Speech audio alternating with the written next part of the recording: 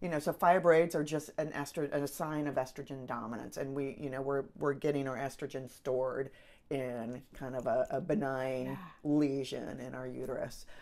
Um, and polyps are basically from thick lining, just Mm-hmm. not being able to shed. It's like a little pedunculated blood um, kind of structure Yeah. that can make you bleed more as well.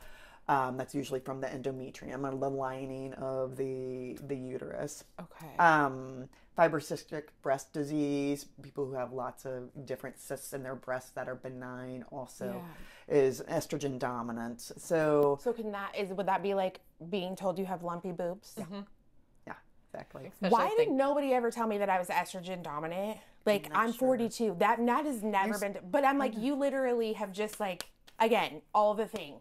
Like I had to have a mammogram at like 33 because it mm-hmm. was like, mm-hmm. oh no, this is worrisome. And then come to find out, they were just like, oh, but you just have lumpy boobs.